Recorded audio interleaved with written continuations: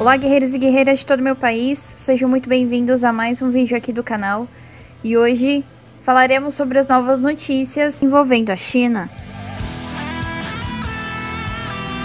O importante general dos Estados Unidos alertou que a China estaria planejando estender sua influência além do Pacífico com a construção de uma grande base naval no Atlântico, localizada na costa ocidental da África. Em uma entrevista ao portal Associated Press, publicada na quinta-feira desta semana, o general dos Estados Unidos responsável pelas tropas norte-americanas na África disse que a China estaria entrando em contato com vários países do extremo norte e até ao sul, em Namíbia, para estabelecer uma instalação naval com capacidade para hospedar submarinos e até mesmo seus porta-aviões.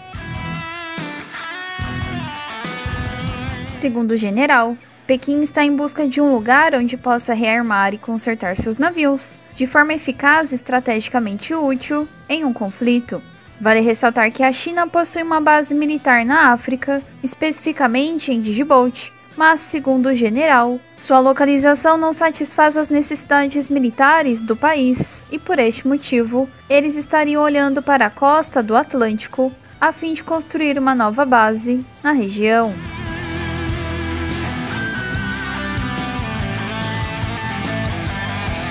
A revelação dos Estados Unidos segue como a mais recente série de advertências de comandantes militares norte-americanos a respeito de que a China pretende estender sua influência não apenas na Ásia ou no Pacífico, mas também na África, Oriente Médio e inclusive na América do Sul. O general ainda disse que a base militar da China em Djibouti foi construída nos anos de 2016 e é considerada a primeira base do país no exterior e que tem aumentado em tamanho e capacidade nos últimos anos.